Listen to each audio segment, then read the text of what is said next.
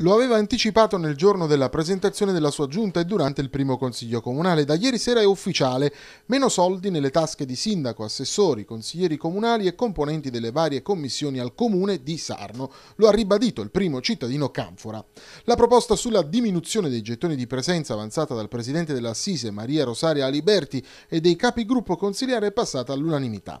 È stato modificato l'articolo 63 del regolamento consiliare con l'aggiunta di un comma che prevede che non sarà corrisposto gettone di presenza nelle commissioni consiliari in alcuni casi, nello specifico quando la seduta andrà deserta o quando la partecipazione sarà inferiore ai 30 minuti. In caso di partecipazione nella stessa giornata a due diverse commissioni consiliari sarà riconosciuto un solo gettone di presenza. Il Consiglio Comunale ha anche approvato la modifica dell'articolo 60 che prevede che ogni commissione consiliare sia composta da 8 consiglieri comunali, disponendo la riduzione del 20% del numero.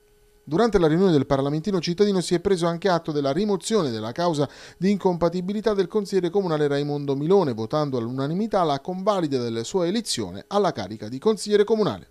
Abbiamo apportato la modifica di due articoli mh, al regolamento interno del Consiglio Comunale che prevede l'indennità ai, ai, componenti, ai componenti. Insomma, abbiamo dimezzato le indennità e abbiamo anche qualcuno ha rinunciato definitivamente all'indennità, ah, per cui è una cosa molto bella.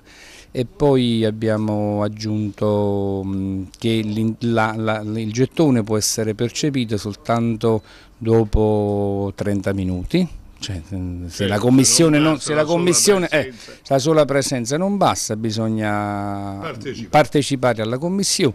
E poi un'altra cosa importante è che eh, non si possono prendere doppi gettoni se si è in, in, in, in, varie, in, varie, commissioni, cioè nella stessa giornata non ci si può sedere a più tavoli, si si può, ci si può sedere ma si percepisce. soltanto un'unica indennità.